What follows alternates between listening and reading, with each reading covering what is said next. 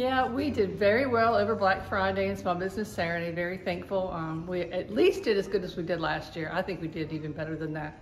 Um, of course, we are having supply chain issues with getting some product, and then uh, certain things like gift bags and boxes, all that has gone up. So you have to pass that on to the consumer, unfortunately. Um, we are having uh, open house today and trying to do different things to get people in the shop um, on weekdays as well. This time around have been much, much better. Um, the foot traffic has been much better. Um, the reception from downtown has been great. Um, I think a lot of people are excited about, you know, bringing new brands into town, and um, we have seen quite a bit of um, traffic because of that.